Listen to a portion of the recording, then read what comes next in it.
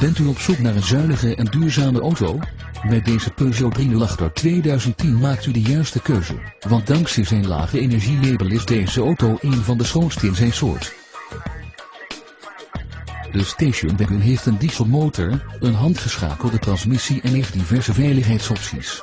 Denk hierbij aan ABS, airbags, side airbags en mistlampen voor. De auto heeft een metallic glad en beschikt over onder andere electronic climate control, cruise control, navigatiesysteem, radio met cd-speler en mp3-functie en een boordcomputer.